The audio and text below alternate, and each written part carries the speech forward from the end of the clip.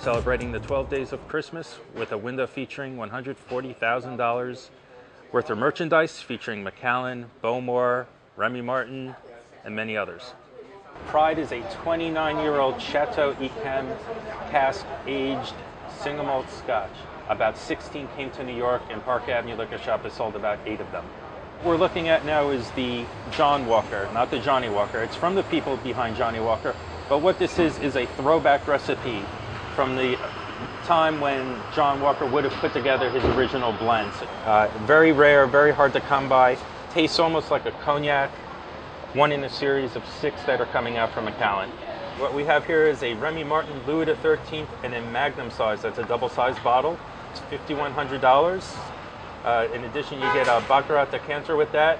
Uh, would make a great stocking stuffer, except uh, as a double-sized bottle, it probably wouldn't fit.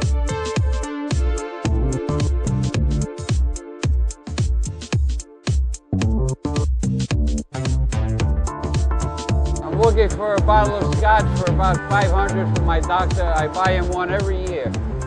These are a little more expensive. I don't think I could go for this.